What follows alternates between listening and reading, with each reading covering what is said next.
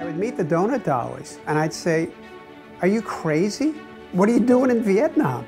Our mission was morale for the enlisted man. When you started to describe the program, you would get the reaction of, You did what? My job as a donut dolly was to be as cheery and optimistic as I could.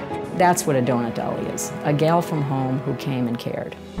They were really, really exposing themselves to real dangers. Also, the everyday brutality of the war. At any given time, they could have been killed. Things like that, they make you grow up. Because we're going back to Vietnam 46 years later, every once in a while I think about it and I think, gosh, what if you hear the echoes of the past? Let's go to Tuy Hoa. This is so exciting. I remember this place from 46 years ago. When I walked in, I knew I had been right here. You never really forget. That's a hard chapter to close. They deserve being remembered for what they did. They didn't have to come here. But they came here for a reason.